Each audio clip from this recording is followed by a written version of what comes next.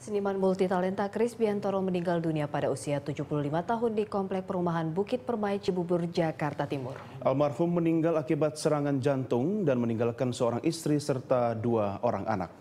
Chris Biantoro yang lebih dikenal sebagai Master of Ceremony meninggal pada selasa siang di kediamannya di Perumahan Bukit Permai, Cibubur, Jakarta Timur. Almarhum Chris Biantoro meninggal di usia 75 tahun akibat serangan jantung yang dideritanya. Selain penyakit jantung, almarhum juga mengidap penyakit ginjal yang sudah diderita selama 38 tahun. Pihak keluarga Kris Biantoro sempat membawa jenazah almarhum Kris Biantoro ke Rumah Sakit Melia Depok, Jawa Barat untuk memastikan kondisi almarhum.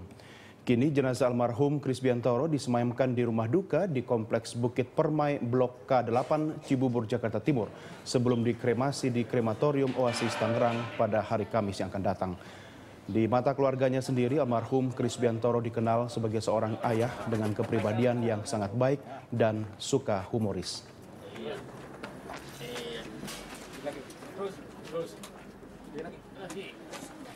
Lagi, lagi, lagi.